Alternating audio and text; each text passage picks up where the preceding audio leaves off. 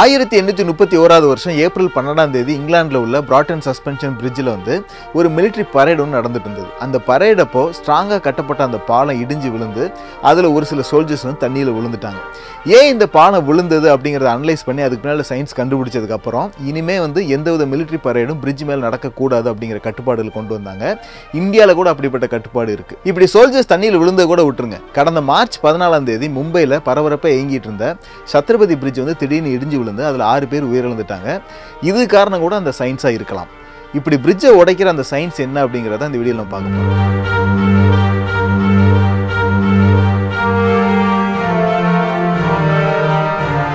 அந்த சயின்ஸ் என்ன அப்படிங்கிறத தெரிஞ்சுக்கிறதுக்கு முன்னாடி ஒரு சில விஷயங்கள் நம்ம தெரிஞ்சிருக்கணும். ஒரு பொருள் மேலே நம்ம ஃபோர்ஸ் கொடுக்குறப்ப பார்த்தீங்கன்னா அது மூவ் ஆகும். மோஸ்ட்லி அந்த பொருள் பார்த்தீங்கன்னா ஒரு நேர்கோட்டில் தான் மூவ் ஆகும். இப்போ அதே பொருளை நம்ம கயிறில் கட்டி தொங்க விட்டு அது மேலே நம்ம ஃபோர்ஸ் கொடுத்தோம் அப்படின்னா அந்த பொருள் வந்து கவுடு பாத்தில் மூவ் ஆகிறத நம்மளால் பார்க்க முடியும். அண்ட் அந்த பொருள் வந்து போன பாதையிலே வந்து திரும்ப திரும்ப போயிட்டு வந்துட்டு இருக்கும். இப்படி ஒரு பொருள் முன்னையும் பின்னையும் போயிட்டு வர்றதா நம்ம வந்து ஆசிலேஷன் அப்படின்னு சொல்லுவோம். இந்த பொருள் ஆசிலேட் ஆகிறப்போ ஸ்டாப் ஆகிட்டு திரும்பி வர்ற இந்த ரெண்டு பாயிண்ட்டை நம்ம வந்து டேர்னிங் பாயிண்ட் அப்படின்னு சொல்லுவோம். இந்த ரெண்டு டேர்னிங் பாயிண்ட்டுக்கு நடு நடுவில் உள்ள பாயிண்ட் வந்து நம்ம ஈக்குலிபிரியம் பாயிண்ட் அப்படின்னு சொல்லுவோம். ஒரு பொருள் ஒரு தடவை முன்னையும் பின்னையும் போயிட்டு வந்தது அப்படின்னா அதை வந்து நம்ம ஒரு சைக்கிள்னு சொல்லுவோம். அண்ட் இந்த பொருள் ஒரு குறிப்பிட்ட டைமில் எத்தனை சைக்கிள்ஸ் போயிட்டு வந்திருக்கு அப்படிங்கிறத நம்ம ஃப்ரீக்வன்சி அப்படின்னு சொல்லுவோம். இந்த ஃப்ரீக்வன்சியோட யூனிட் பார்த்தீங்கன்னா ஹர்ட்ஸ் உதாரணத்துக்கு இந்த பொருள் வந்து ஒரு செகண்டுக்கு அஞ்சு தடவை முன்னையும் பின்னையும் போயிட்டு வந்தது அப்படின்னா அதை வந்து நம்ம ஃபைவ் ஹெர்ட்ஸ் அப்படின்னு சொல்லுவோம்.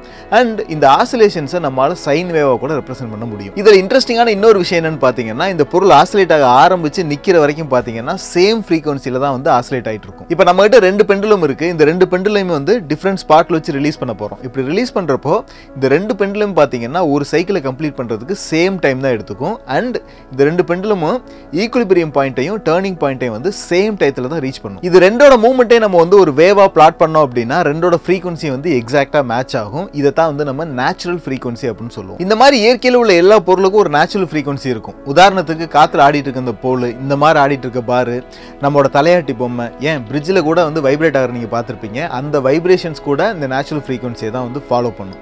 இந்த நேச்சுரல் ஃப்ரீக்வன்சிங்கிறது வந்து அப்படியே இருக்க வரைக்கும் பிரச்சனை கிடையாது. அது கூட வந்து இன்னொரு விஷயம் ஆட் ஆகிறப்ப தான் வந்து பிரச்சனையே ஸ்டார்ட் ஆகுது. இப்போ இந்த பஞ்சிங் பேக் வந்து ஒரு ஸ்ட்ராங்கான ஆளை வச்சு நம்ம குத்த விட்டாலும் இந்த பஞ்சிங் பேக் பார்த்தீங்கன்னா பெருசாக மூவ் ஆச்சானா இல்லை.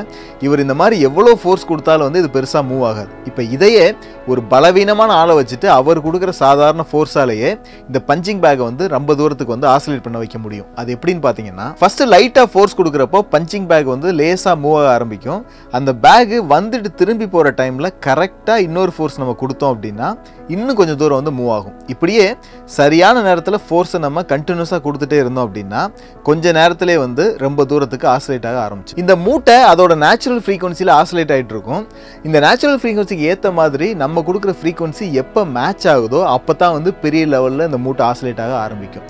ஸோ இந்த மாதிரி ரெண்டு ஃப்ரீக்வன்சியை ஒன்றா சிங்க் பண்ணுற நிகழ்வுக்கு பேர் தான் வந்து நம்ம ரெசனன்ஸ் அப்படின்னு சொல்லுவோம். இந்த மூட்டை மாதிரியே நம்ம நடக்கிற பிரிட்ஜுக்கும் ஒரு நேச்சுரல் ஃப்ரீக்வன்சி இருக்கும். இந்த பிரிட்ஜ் மேலே இந்த பரேட்லாம் போகிறப்போ இந்த பரேட் போகிற சோல்ஜர்ஸ் நடக்கிற பேட்டர்னும் இந்த பிரிட்ஜோட நேச்சுரல் ஃப்ரீக்வன்சியும் எக்ஸாக்டாக மேட்ச் ஆகிறப்ப என்ன ஆகும்னா அந்த பிரிட்ஜோட ஆசிலேஷன்ஸ் அதிகமாக வாய்ப்பு இருக்குது இப்படி ரொம்ப அதிகமாயிடுச்சு அப்படின்னா அந்த பிரிட்ஜே கொலாப்ஸ் ஆக கூட சான்சஸ் இருக்குது இதனால தான் பிரிட்ஜ் மேலே பரேட்லாம் போகிறது வந்து அலோவ் பண்ண மாட்டேங்கிறாங்க. இந்த ரெசனன்ஸ் அப்படிங்கிறது வந்து பரேடு போகிறப்ப மட்டும் கிடையாது சாதாரண மக்கள் நடந்து போகிறப்ப கூட ஏற்பட வாய்ப்பு இருக்குது ஸோ அதனால் பிரிட்ஜ் எல்லாம் கன்ஸ்ட்ரக்ட் பண்ணுறப்போ இந்த ரெசனன்ஸை கன்சிடர் பண்ண வேண்டியது ரொம்ப ரொம்ப முக்கியம். இதை குறைக்கிறதுக்காக தான் வந்து டேம்பர் அப்படிங்கிற விஷயத்தை யூஸ் பண்ணிட்டு இருக்காங்க. நிறைய பிரிட்ஜஸில் பார்த்தீங்கன்னா அந்த டேம்பருங்கிறது வந்து ஸ்ப்ரிங் டைப்லையும் பிஸ்டன் டைப்லையும் ஒரு சில பிரிட்ஜஸில் பார்த்தீங்கன்னா கேபிள் டைப்பில் கூட இருக்கும்.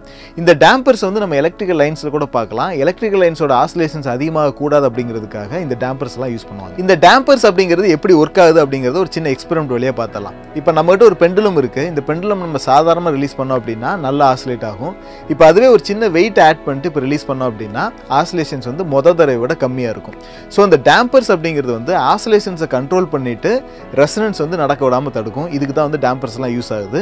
பிரிட்ஜிலையும் டேம்பர்ஸ் வந்து இந்த பர்பஸ் தான் யூஸ் பண்ணிட்டு இருக்கோம். நம்ம ஊரில் கட்டுற மோஸ்ட் ஆஃப் த பிரிட்ஜஸ்ல இந்த ரெசனன்ஸை கன்சிடர் பண்ணுறாங்களா அப்படின்னு கேட்டிங்கன்னா மோஸ்ட்லி இல்லை.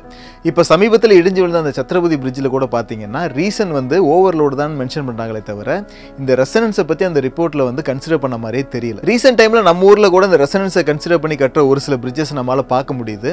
ஸோ இந்த பில்டிங் கட்டுறவங்களா இருக்கட்டும் பிரிட்ஜ் கட்டுறவங்களா இருக்கட்டும் இந்த ரெசனன்ஸ் எல்லாம் கன்சிடர் பண்ணி கட்டினீங்கன்னா ரொம்ப நல்லாயிருக்கும் நன்றி.